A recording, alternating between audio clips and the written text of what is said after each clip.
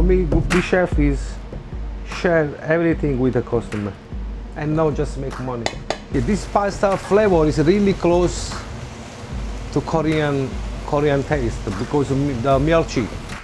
Also, we have soup with the same bread. After you eat all meat, in the hand they left the soup. They put rice inside and finally become like creamy like this.